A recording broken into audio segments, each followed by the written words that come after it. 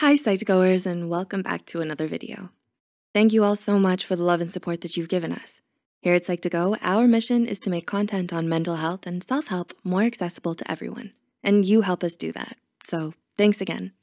Now let's continue. What comes to mind when you hear the word therapy? Even in this age and time, for most, it brings to mind a rickety old couch with an old guy beside it, taking notes.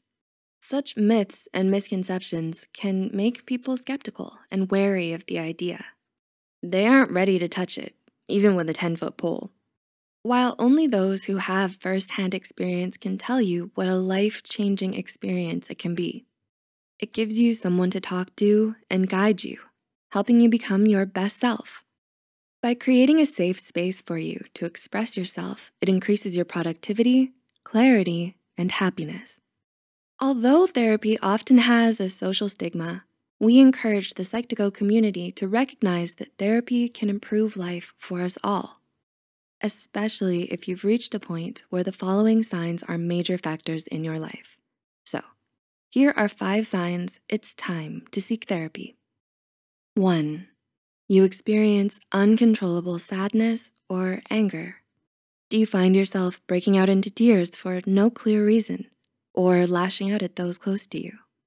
Your reactions could suggest that there's something in life that you need to face. In fact, talking or venting to your friends can only do so much, especially if you're too emotional to communicate calmly.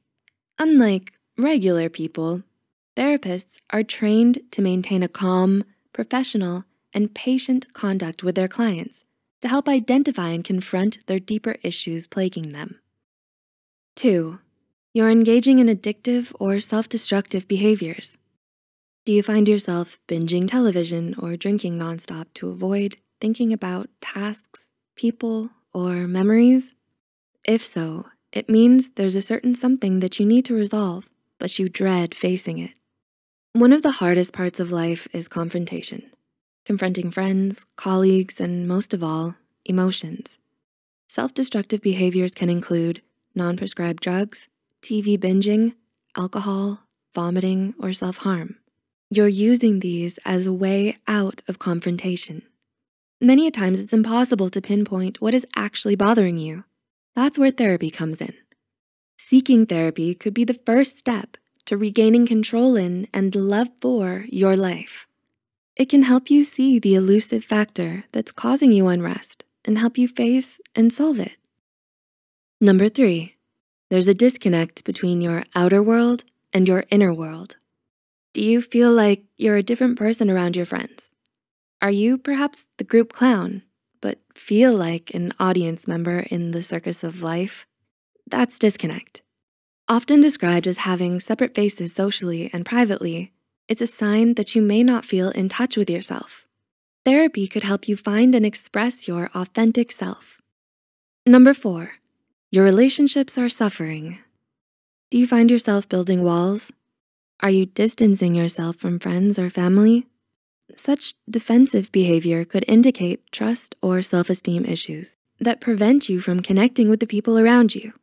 As a result, you might be seeing some of your relationships break apart, which creates emotional baggage and a vicious cycle of isolation. The objective view of a therapist can be essential in bringing clarity to your relationships. Therapy can help you sort out your priorities and refocus your mind. And number five, you feel like you don't have control over your thoughts. Are nonstop thoughts about the past or the future making you lose sleep? Do you miss out on moments with your family or the feeling of being in the present because of these thoughts? If you find yourself stuck in a cycle of negativity, thinking obsessively about failures or mistakes, therapy can help alleviate the constant anxiety you may feel. In the end, seeking therapy is seeking help to become a better person, and it's important to break the stigma. Therapy is an incremental and two-way process. Instead of a eureka moment, it allows you to take a bird's eye view of things. It helps uncover your strengths to help you cope with the trampoline that is life. Did you find yourself nodding along with any of the points? Are you now able to see therapy in a better light? Do you know of anyone who needs to change their attitude towards getting therapy? Let us know in the comments below. If you found this video insightful, be sure to hit the like and subscribe button and share it with someone who might benefit from it too. Thanks for watching, and we'll see you in our next video.